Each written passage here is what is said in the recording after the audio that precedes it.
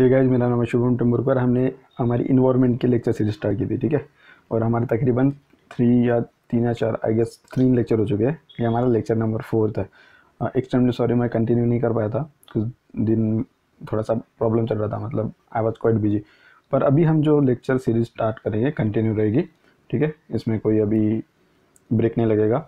और it is free for all ऐसा नहीं है कि अभी मत कुछ दिन बाद ये ये पेड वगैरह हो जाएगा, नहीं। सबके लिए फ्री है। और ये हमारा जैसे कोर्स कंप्लीट हो जाएगा तो इस, इसका मतलब ये नहीं कि हम इस पर बात करना छोड़ देंगे। जितने भी हमारे करंट अफेयर्स में न्यूज़ रहेगी, उसके ऊपर मैं वीडियो डालते जाऊँगा, ठीक है? तो पहले एक बार देख लेते कि हमने क्या क्या करा है। लेट्स सी कि हमने आखिर क्या क्या कर लिया था। तो हमने जान लिया था कि, हमने बोला था कि हम, कि जो इन्वायरमेंट है इन्वायरमेंट को हम तीन हेड में डिवाइड करेंगे। पहला इकोलॉजी एंड इको सिस्टम है ना? फिर दूसरा होगा हमारा बायोडाइवर्सिटी और थर्ड होगा हमारा क्लाइमेट चेंज तो इकोलॉजी एंड इकोसिस्टम बायोडाइवर्सिटी और क्लाइमेट चेंज इसको हम इन्वायरमेंट को डिवाइड करने वाले और फिर हमने स्टार्ट किया था आपका इकोलॉजी एंड इकोसिस्टम ठीक है? एक मिनट तो हमने आपका स्टार्ट किया था इकोलॉजी एंड इकोलॉजी और सिस्टम इकोलॉजी और इकोसिस्टम, और हमने देखा था इनके बीच में क्या होते हैं, कुछ ऑर्गेनाइजेशंस होते हैं, जिसको हम कहते हैं पहला इंडिविजुअल। तो इंडिविजुअल मतलब क्या होता है, कोई एक सिंगल स्पीसीज। किसी एक सिंगल स्पीसीज का कोई एक इंडिविजुअल मतलब एक सिंगल ऑर्गेनिज्म। मतलब जैसे हम, हमारा एग्ज़ाम्पल ले लेते तो हम क्या है, एक इंडिविजुअल। अगर ऐसे बहुत सारे इंडिविजुअल एक जगह पे है, ठीक है सेम स्पीसीज के, ठीक है? तो हम इसको कहेंगे आपकी पॉपुलेशन इतना कर लेता हमने। और अगर यही पॉपुले यही यही स्पीसीज डिफरेंट स्पीसीज होगी, ठीक है? अगर यही ग्रुप डिफरेंट स्पीसीज का होगा। हमने क्या बोला? अगर सेम स्पीसीज का ग्रुप होगा तो हम इसको क्या कहेंगे आपका? पॉपुलेशन अगर मान लो डिफरेंट स्पीसीज का ग्रुप है, ठीक है ना? यहाँ पे पेड़ भी है, पेड़ की स्पीसीज है? कुछ एनिमल है एनिमल स्पीसीज है। ह्यूमन है है ना? तो ऐसे ग्रुप को हम क्या कहेंगे आपकी? कम्युनिटी कम्युनिटी तो क्या होता है इंडिविजुअल क्या होते हैं इंडिविजुअल से फिर हमने देखा था पॉपुलेशन पॉपुलेशन से आपकी क्या होती है कम्युनिटी ये सब हमने देख लिया था। और उसके बाद हमने इनके एग्ज़ाम्पल हमने स्पीसीज को फिर डिफाइन किया था। और स्पीसीज को फिर हमने फिर से कैटेगराइज किया था पाँच हिस्सों में, जिसमें था आपकी पहले नेटिव नॉन नेटिव ठीक है? नेटिव नॉन नेटिव में हमने देखा था कुछ एग्जांपल्स कि कॉटन नेटिव है कि नॉन नेटिव है। फिर टी कॉफ़ी इनके बारे में हमने बात कर ली थी पोटैटो के बारे में बात किया था हमने, और हमने जाना था कि उनमें से कौन सा नेटिव है कौन सा नॉन नेटिव है, ठीक है? इतना क्लियर होना चाहिए बस आपको। और बेसिक डिफरेंस चाहिए कि नेटिव और नॉन नेटिव में बेसिक डिफरेंस क्या है, क्योंकि ऐसी डायरेक्ट डेफिनेशन आ जाएगी एग्ज़ाम में। तो फिर हम क्या करते हैं, हम थोड़ा सा सोचने, सोच में पड़ जाते तो बस तीन चीज़ें नेटिव रहा तो वो उसी हैबिटेट में इवॉल्व हुई है। उसको एक्सटर्नली इम्पोज नहीं किया गया है, ठीक है? और उससे किसी दूसरी जो जितने भी आपकी स्पीसीज है, उस पर उसका कोई इफ़ेक्ट नहीं गिर रहा है बैड इफ़ेक्ट तो उसको कहते हैं हम आपकी नेटिव स्पीसीज नॉन नेटिव भी, कि उनको बस एक्सटर्नली इम्पोज किया गया है, या फिर एक्सटर्नली इंट्रोड्यूस किया गया है. किसी एरिया में तो वो हो जाएगी आपकी नॉन नेटिव स्पीसीज फिर हमने देखा था की स्टोन स्पीसीज क्या है? की स्टोन स्पीसीज के बाद हमने फ्लैक्सिव स्पीसीज एंडेमिक स्पीसीज और हमने ये भी देखा कि एंडेमिज्म कहाँ सबसे ज़्यादा है। ये मान लो आपका प्यारा भारत, ये वेस्टर्न घाट है ना, ये हिमाल, ईस्टर्न हिमालयाज। तो हमने देखा था कि हमारा बायोडाइवर्सिटी हॉटस्पॉट ये है फ़र्स्ट नंबर का, ठीक है? फिर सेकंड नंबर पे हमारा ये, और थर्ड नंबर पे हमने देखा कि सुंडा लैंड ये हमारे क्या है? एंडेमिक सबसे ज़्यादा इंडिविज्म हमें इन तीन जगह पे देखने को मिलेगा। एक दो और तीन। ये भी हमने देख लिया था। अगर आपने नहीं देखा होगा तो प्रीवियस लेक्चर देख लो, बस चीज़ें क्लियर कर लो। ठीक है? और ये अभी हाँ मैं वही बोल, बोला था कि अभी आपकी जो लेक्चर सीरीज़ है, एकदम स्मूथ चलेगी। ठीक है? बीच में ब्रेक लग गया था। I am sorry for that अभी नहीं लगेगा। तो लेट्स गेट स्टार्टेड तो हम पोल्यूटेंट के बारे में देख रहे थे और हमने पोल्यूटेंट में देखा था उनका बायो मैग्निफिकेशन बायो कॉन्सेंट्रेशन है ना? और बायो एक्यूमुलेशन तो बायो एक्यूमुलेशन मतलब क्या होता है? कि जब आपके खाने में कोई पोल्यूटेंट आ जाता है, हम इसको क्या कहते हैं? आपका बायो एक्यूमुलेशन ठीक है? सीधी सीधी डेफिनेशन है बायो एक्यूमुलेशन की। जब कोई पोल्यूटेंट आपके फ़ूड चेन में एंटर कर देता है। ये हमने देखा था। फिर हमने देखा कि क्या होता है आपका? बायो मैग्निफिकेशन और ये वर्क कैसे करता है इससे क्या हार्म्स होते हैं ये सब हमने पिछले लेक्चर में देख लिया था। और ये जो बॉल बार, बारह पोल्यूटेंट है ना उनके बारे में हम अभी पढ़ेंगे थोड़ी देर में। तो लेट्स गेट स्टार्टेड तो पोल्यूटेंट जो भी है उनसे खतरा क्या है? अगर हमारी बॉडी में जा रहे हैं तो उससे मतलब हमें हार्म क्या है? ठीक है? समझ लो।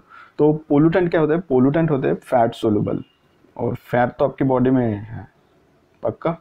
तो अगर फैट सोलूबल है तो क्या हो जाएँगे? आपके फैट में एकोमुलेट हो जाएँगे। जिसके कारण अगर वो कुछ ज़्यादा देर रह रहे आपके बॉडी में, है ना? ज़्यादा दिन अगर वो हो तो मतलब वो लॉन्ग ल्यूड होते हैं। जैसे कि आप जानते हैं दे आर लॉन्ग ल्यूड तो वो ज़्यादा दिन आपके बॉडी में ही रहेंगे। फैट है, ज़्यादा फैट है तो फैट में तो वो एब्जॉर्ब हो गया।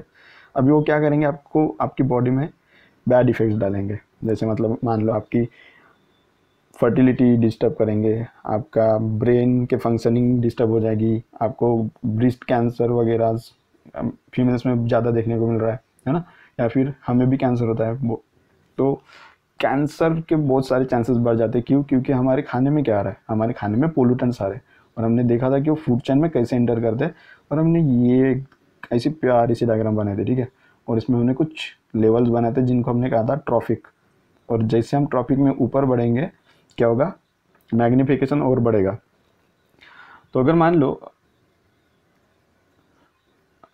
एक मिनट, कि ग्रास ग्रास को कौन खाएगा? ग्रास को खाएगी हमारी बकरियाँ, ठीक है?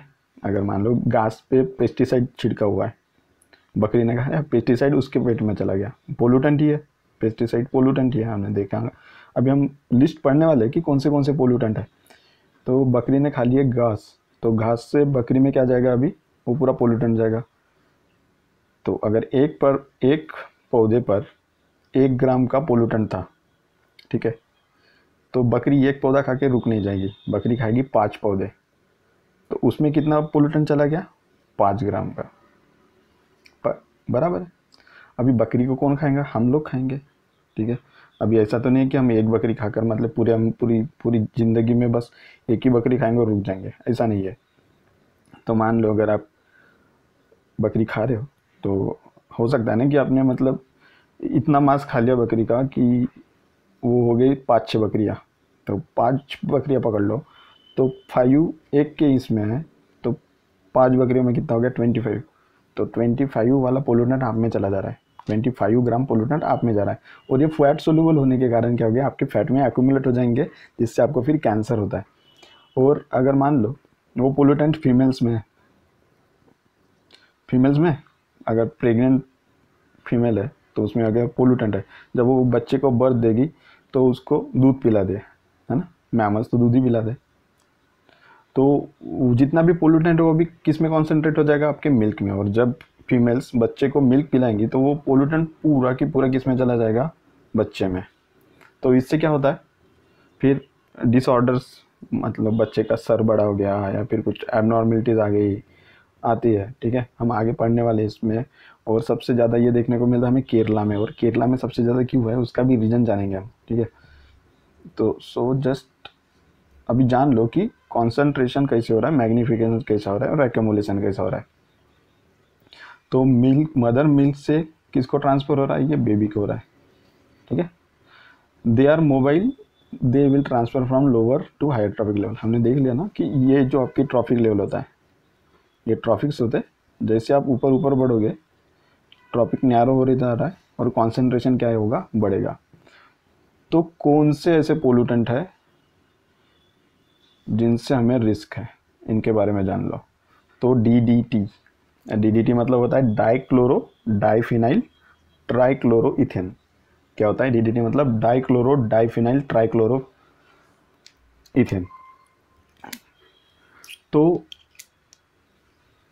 डीडीटी जिसने बनाया था ना, उसको मिला था नोबल प्राइज अभी डीडीटी का वर्क क्या है उसको जान लेते हैं। डीडीटी स्प्रे किया जाता है मॉस्किटोज की जो पॉपुलेशन है उनको कंट्रोल करने के लिए। तो एडिस से क्या होता है? आपका चिकन गुनिया डेंगी ठीक है? तो उनसे बचने के लिए एडिस जो मॉस्किटो है, उनकी पॉपुलेशन को कंट्रोल करना पड़ेगा। तो उसके लिए डीडीटी बनाया था। एक पेस्टिसाइड है और इंसेक्टिसाइड भी है। दोनों है। तो अगर क्वेश्चन में आ गया कि what is D it is pesticide और इंसेक्टिसाइड तो इंसेक्टिसाइड और पेस्टिसाइड दोनों है। ठीक है? एक आपका एक प्रीलिम्स का क्वेश्चन तो हो गया। अभी आगे, सुनो। तो डाइक्लोरो डाइफिनाइल ट्राइक्लोरो इथेन मतलब डीडीटी जिसने बनाया था, उसको नोबल प्राइज मिला। क्यों? क्योंकि सर आपने मॉस्किटोज की पॉपुलेशन कंट्रोल करने में मदद की है। और मॉस्किटोज से कौन से कौन से डिसीज़ फैलते आपको तो है चिकन, गुनिया, मलेरिया, डेंगी वगैरह सभी। तो उनको क्या मिल गया था? नोबल प्राइज फिर ए मैडम की एक एंट्री जिनका नाम था रिचल कार्सन ठीक है? तो रैचल कार्सन ने क्या किया? रैचल कार्सन ने एक किताब लिखी, जिनका, जिसका नाम था साइलेंट स्प्रिंग। और इस किताब ने बताया कि डी के कारण कितने सारे हार्म्स हो रहे और फिर बाद में जब उन्होंने एनालिसिस करा तो उनको पता चल गया कि डीडीटी ने जितने जाने बचाई नहीं है, उससे ज़्यादा डीडीटी के कारण लोगों की जाने गई है। इसलिए फिर नोबल प्राइज कमेटी ने लोगों की माफ़ी मांगी और बोला कि यार माफ़ कर दो, हमने किसी अलग ही चीज़ को नोबल प्राइज़ दे दिया। तो उन, फिर नोबल प्राइज़ कमेटी ने उनसे माफ़ी भी मांगी लोगों से। तो कौन सी बुक है? साइलेंट स्प्रिंग किसकी है? रेचल कार्सन की। और इसने क्या किया? इन्वायरमेंट मोमेंट वर्ल्ड में स्टार्ट किया। फिर लोग इकट्ठा हुए कहाँ पे? स्टॉक होम कन्वेंशन में। और स्टॉक होम कन्वेंशन 2001 में आयोजित किया गया था। ठीक है? इस पर ध्यान दीजिए। स्टॉकहोम कन्वेंशन कब आयोजित किया गया था? स्टॉकहोम कन्वेंशन आयोजित किया था 2001 में। और यहाँ पे 12 पोल्यूटेंट को ऐड किया गया, जिसको नाम दिया गया डर्टी डर्टी डजन। ठीक है? बारह है मतलब डजन, एक डजन। तो डर्टी डजन नाम से इनको जाना गया और डीडीटी को भी इस कन्वेंशन में बैन किया गया। क्यों? क्योंकि डीडीटी ने जितनी जाने बचाए नहीं, उतनी जाने उसने क्या ली है। पर इंडिया इंडिया कौन से रीजन में था? ट्रॉपिक रीजन में। यहाँ पे सबसे ज़्यादा होती है मानसून के कारण बारिश। ह्यूमिडिटी भी ज़्यादा ही रहती है। तो ह्यूमिडिटी ज़्यादा रहने के कारण ये अच्छा हैबिटेट प्रोवाइड करता है इंसेक्ट को पनपने के लिए, ठीक है? तो इंडियन गवर्नमेंट ने बोला, अगर हम डी को बैन कर देंगे तो मॉस्किटो पॉपुलेशन कंट्रोल कैसे करेंगे? ठीक है? तो मॉस्किटो का अगर पॉपुलेशन कंट्रोल नहीं होगी तो हमारे लोग यहाँ के लोग मर जाएँगे। तो इंडियन गवर्नमेंट ने बोला कि डीडीटी से मरने से अच्छा सॉरी चिकनगुनिया डेंगू से मरने से अच्छा हम डीडी से मर जाते हैं, ठीक है? तो डी के जो हार्मफुल इफ़ेक्ट है उससे क्या होता है? देखो इम्पैक्ट देखो डीडीटी का। देख पा रहे हो? आपके हार्मोन डिस्टर्ब होते हैं। आपके बर्ड और मैमल में एनिमल्स में क्या होते हैं? इनफर्टिलिटी इनफर्टिलिटी मतलब बांझपन आ जाता है। वो ऑफ़ स्प्रिंग पैदा नहीं कर पाते इंडोक्राइन डिस्ट्रप्शन मतलब आपके इंटरनल ऑर्गन्स है ना?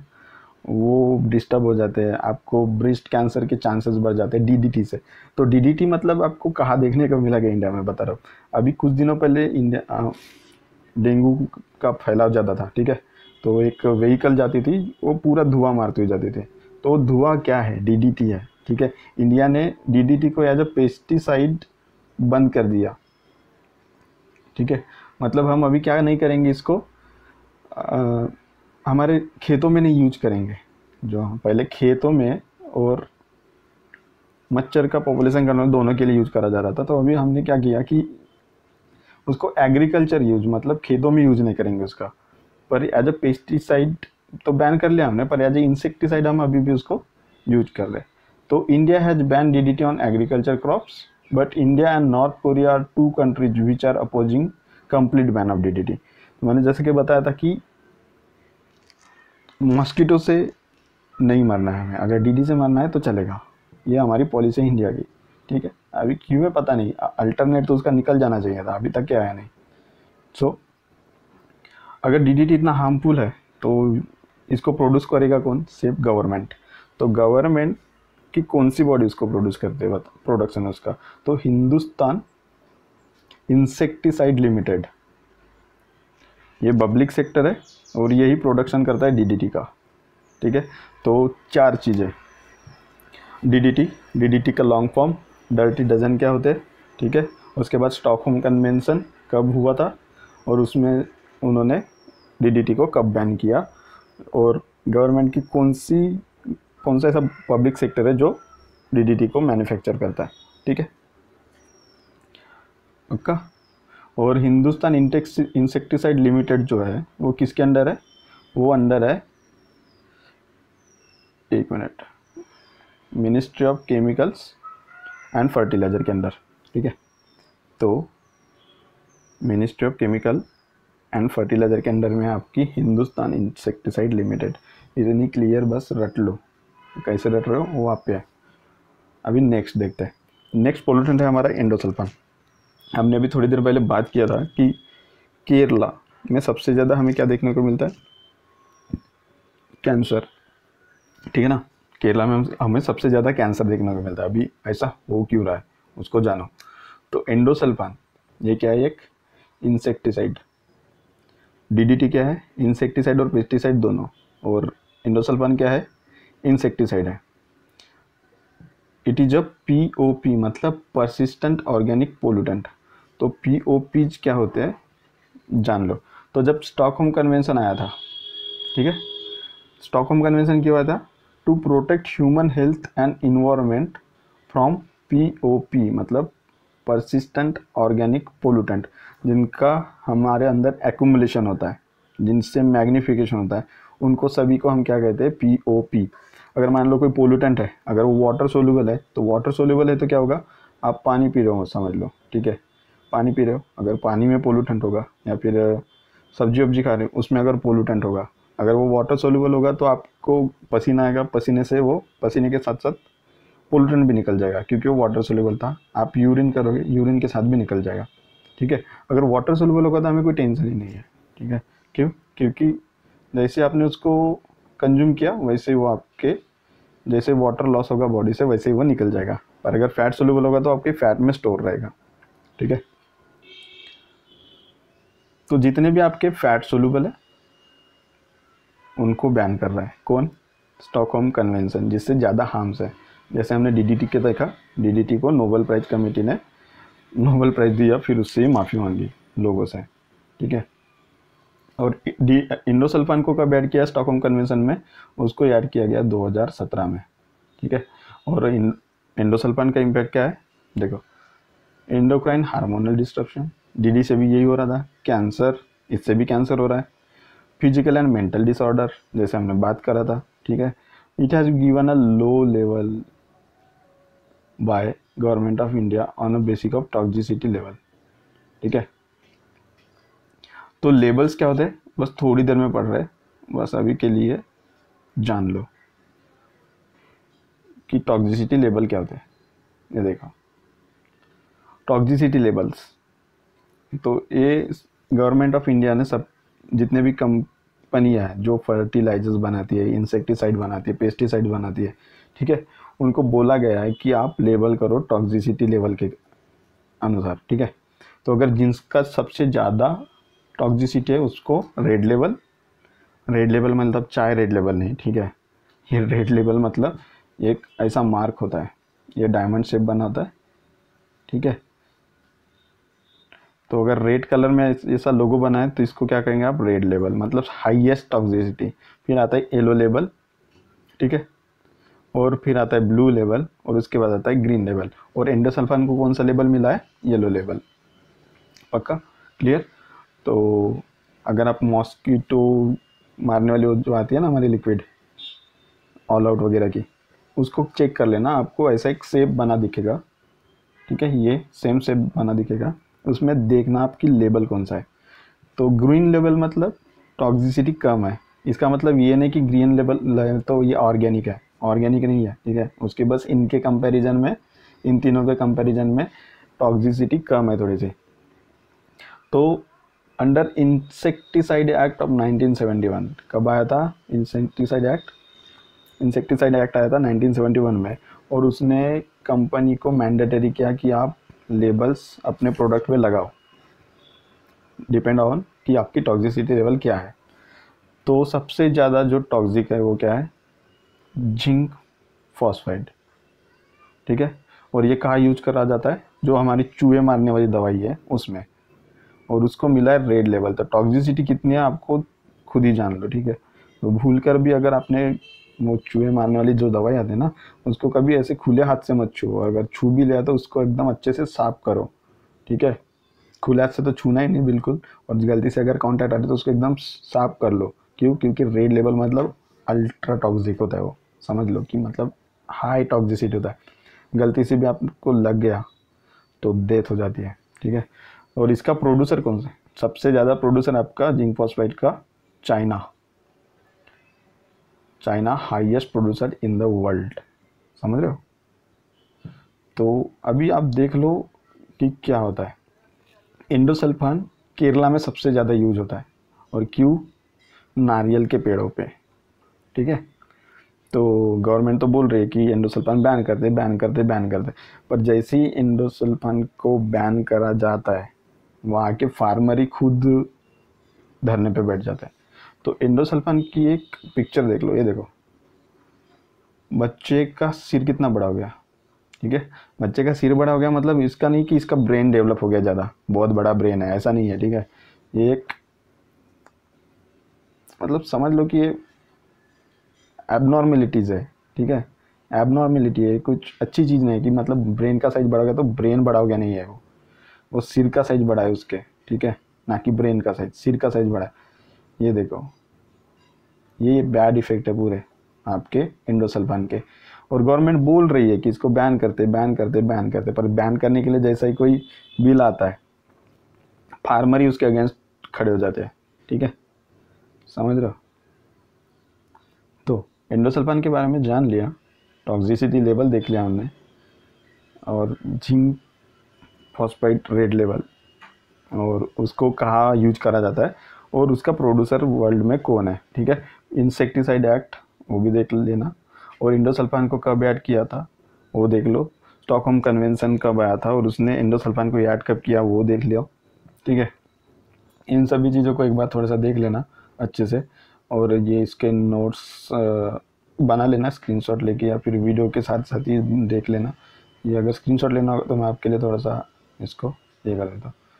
ये ये एक स्क्रीनशॉट आ जाएगा। उसके बाद ये इसका स्क्रीनशॉट ले लेना ठीक है? तो हमने क्या पढ़ा आज? आपका पढ़ा हमने डीडीटी हमने साइलेंट स्प्रिंग के बारे में पढ़ा बुक डीडीटी को कब बैन किया गया वो देखा हमने इंडिया और नॉर्थ कोरिया क्यों नहीं बैन कर रहे वो भी देखा आ, उसके बाद हमने देखा इंसेक्टिसाइड एक्ट उसके टॉक्सिसिटी लेवल ठीक है? आशा करता हूँ आपको अच्छा लगा होगा और ये मत सोचो कि ये आपको मैं फ्री लेक्चर प्रोवाइड नहीं करूँगा, ठीक है? मुझे पता है कि मतलब there are N number of people out there जिनको पढ़ना तो है, पर उनके पास मनी प्रॉब्लम हो जाता है। तो कहाँ से पढ़ेंगे, है ना?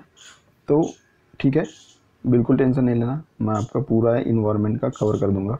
उसके बाद अगर आपको लगे तो हम और कुछ सब्जेक्ट भी लेंगे।